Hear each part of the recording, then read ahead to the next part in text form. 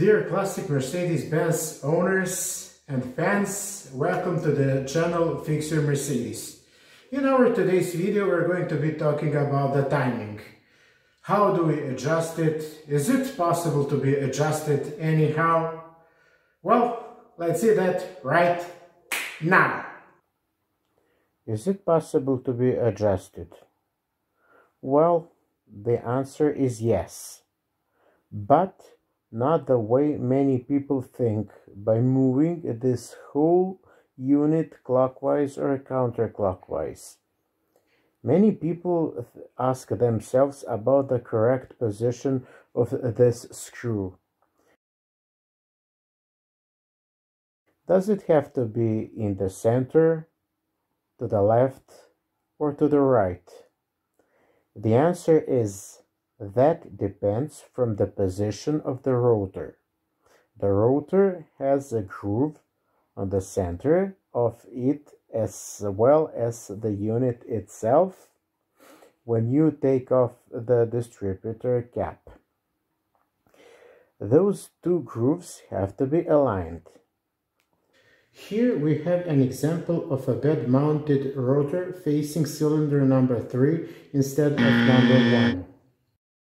If you don't succeed in aligning them perfectly, then you loosen the Allen screw and you do it manually. That's the answer to your question, which is the correct position of the screw. The only way to adjust the timing is on this resistant trimming plug. It's located here any other adjustment is not possible because the electronic ignition, EZL, does that job. In fact, not quite. As you crank the engine and the engine starts operating, the timing is set by two notches. These two notches on the flywheel for 180 degrees opposed against each other, which determine uh, the ignition if it's going to be late or early.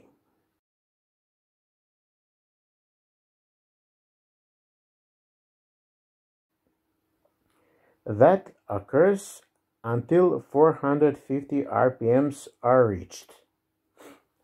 Afterwards, the CPS transforms the signal into hertz, which it sends to the electronic ignition, and the electronic uh, ignition then determines uh, whether the ignition is going to be early or late, based on the engine operating temperature or driving conditions. The best adjustment for the engine and the, the best performance is to let the trimming plug be on the S position. If you pour lower quality fuel in your car, then you should turn the plug on the N position. As for me, I don't intend to touch this part. I'm satisfied with my engine performance.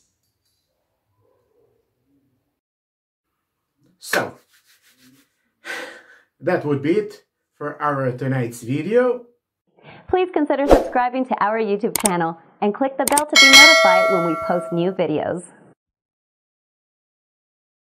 And till the next time, happy Mercedes.